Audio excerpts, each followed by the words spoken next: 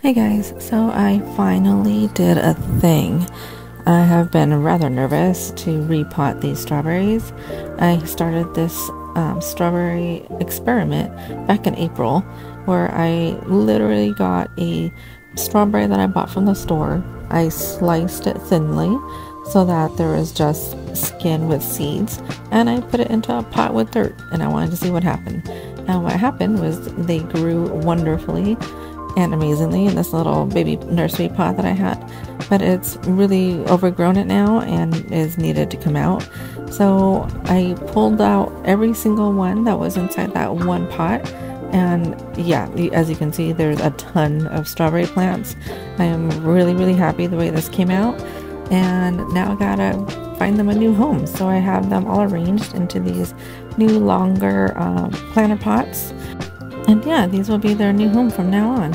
So let's, let's put them in the dirt.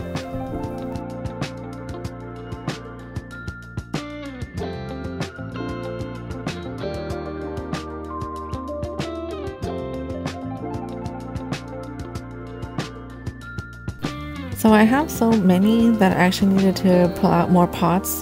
So I grabbed just a regular um, normal round size pot and I yeah, I needed more pots. So, yeah.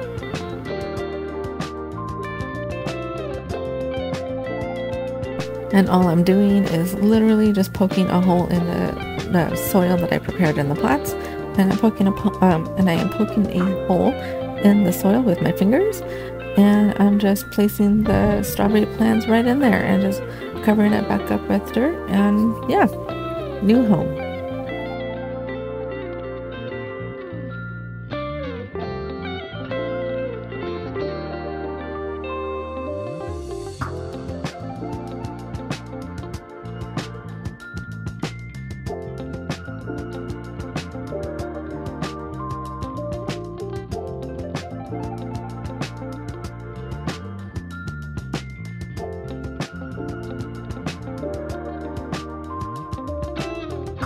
And here they are, everybody.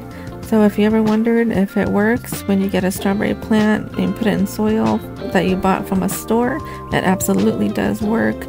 Check this out, and they're still growing really well. They're taking, they're really acclimating well to the new pots, and yeah, I am super happy with this experiment, and we'll definitely do this in the future again.